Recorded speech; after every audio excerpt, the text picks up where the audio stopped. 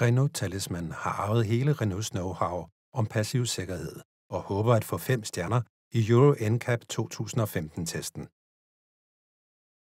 Motorhjelmen og forkofangeren er konstrueret til at beskytte fodgængere i tilfælde af påkørsel. Det passive sikkerhedsudstyr er omfattende.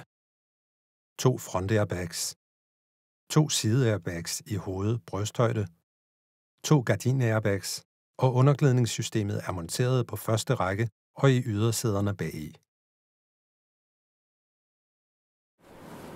Der er sikkerhedsseler med forstrammere og kraftbegrænsere i første række. Sikkerhedsseler med kraftbegrænsere i anden række. Og nakkestøtter mod piskesmæld. To sæder i anden række har Isofix monteringsbeslag med tre forankringspunkter –